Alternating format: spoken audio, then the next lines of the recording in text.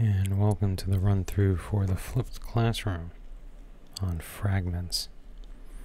So if you download our code and compile it and run it, you are going to get this pile of awesomeness. So, pretty blank. Uh, doesn't really do much, although you can exit. That's pretty awesome. So I wanted to show you what your final project will actually look like. Hopefully without slipping up and showing you a whole bunch of code that you're supposed to write.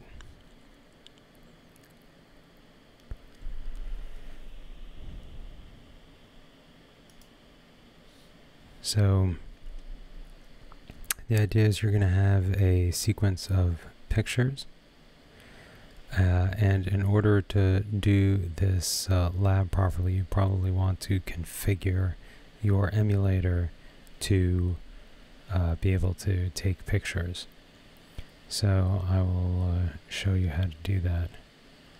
Um, in a little bit. So come on now.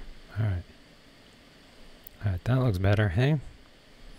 So uh, here is some logic that we basically implement so this is going to be scary but we'll click on take a picture and uh-oh is that is that a super cool microphone? Uh, will take a picture of the microphone and we'll say we're done. And that's the picture of mate. Whoa, what was that? And that's a picture of Rorschach. Okay, now you'll notice two things. These pictures, if I click them, they get super big. And if I click back, I get back to the regular UI. If I click this, nothing happens. If I click this, it also gets big. If I click it again, it gets small. If I click back, I get back. Both of those functionalities uh, are necessary to do uh, uh, to get 100, you know, to do a correct job. Okay, so that is the uh, flipped classroom. That's that's the basic functionality. Okay, so let's take a look at your code and sort of what's going on. Oops. Okay, so um, uh, just looking at the layouts for a minute, uh, activity main uh, looks totally normal. It's it's the same thing we've been doing with this uh, app bar layout, the toolbar. Content main uh, looks a little funny. Content main is a linear layout that basically contains a frame layout. We're calling this frame layout main fragment. We're calling it that for a reason, because you're going to be putting some fragment in this frame layout. Then we have uh, image fragment, which also is pretty simple. It's a linear layout that contains an image view. We call image view fragment. It's a subtle hint. Finally, we have uh, photo fragment. Photo fragment looks a lot like our main screen. And in fact, uh, it is our sort of main screen. So what distinguishes this project uh, to be a little different from some of your others is when it initializes, pretty much blank.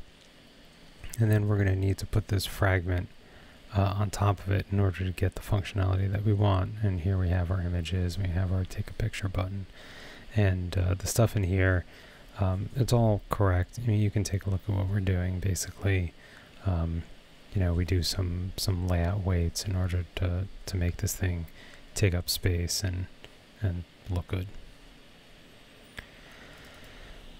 Okay, so uh, in the code, um, there are a couple of things to notice here that uh, might look scary, but they're really not so bad.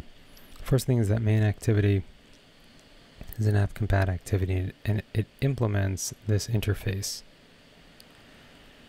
Okay, this interface is this image fragment finish. So something in image fragment can call this and it might do some useful work for you. So you can do this entire uh, Flipped Classroom correctly leaving this blank, leaving this callback blank, or you can fill it in with a single line of code, which which will help you. So you can do it both ways. That that part is up to you. But I wanted to show you this idea of using a callback uh, as an interface because we're going to do that uh, even more next week. This beginning of uh, onCreate should look so boring that you fall asleep, and then you can wake up and uh, write the rest of this code. Uh, the rest of um, main activity is pretty straightforward. Um, let's look at photo fragment. Photo fragment um, is sort of the contains the main UI. Um, oh, there's a little hint there.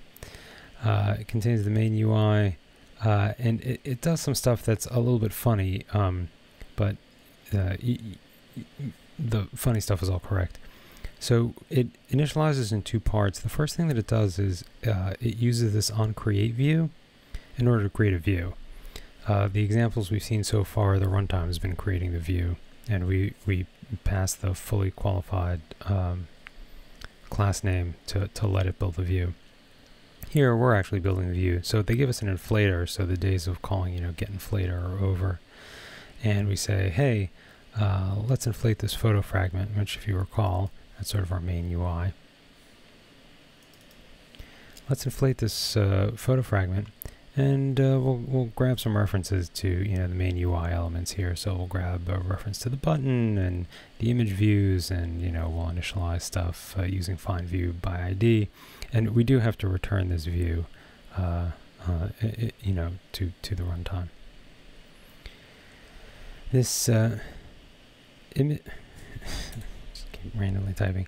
This image to image button function is something you have to implement. Uh, I'll I'll talk about that in a second. Mostly have to implement. On activity created, this is uh, the big callback where we uh, take these UI elements and actually hook them up to, to do stuff like call this picture button press, then actually call this image image button stuff, which which you have to do. Um, and then uh, everything down here is correct. Uh, this is some logic to actually uh, shift those images down when you take an, a new picture with the camera, and this code takes pictures with the camera and gets the results back and passes it to you as a bitmap. Okay, uh, so yes, you, you, you know, um, uh, this is turning the images into buttons, and by that I mean it's setting an on-click listener on the images, and when the image is clicked, it needs to get big. So, figure out what that means. And uh, finally, we have uh, an image fragment Recall it defines this interface about, about finish. And uh, it also has sort of um, an interesting uh, initialization path. I mean, first of all, it also implements on create view and, and it uh, calls the inflator, excuse me, uh, to you know inflate this image fragment, what we call this image fragment. Um, there's uh, one thing that's that's funny here. So you have to pass in uh, something that adheres to this interface. you might find something like that in, in main activity. And uh, we have here something put parcelable, which uh, looks a lot like put serializable. So this is a bitmap object, and we want to pass a bitmap object in a bundle. So the question is, how do you do that? So if the bitmap object implemented serializable, we would say put serializable. Turns out that serializable is very slow. It's defined by the Java language. So Google built something faster that they call parcelable. Uh, a, a, bitmap is parcelable, so this is just a way of, of putting something in uh, in a uh, bundle, and you're going to have to get the this bitmap out of that out of that bundle. This is sort of fun and, and, and whatever. Don't don't freak out about it. You can ignore it if you want. Basically, this is one of the callbacks that gets called um, when you are attached to a uh, context, which is your container activity and we make sure that that context is a valid uh, image fragment interface. So we're casting here, and uh, if that cast fails, it's gonna then throw an exception, and we're gonna we're gonna say like ah. and here I need to uh, implement the functionality that's specified in the Flipped Classroom. If you if you click this, you disappear. Okay, so along with the um, instructions for the flipped classroom, that should be sufficient. Good luck.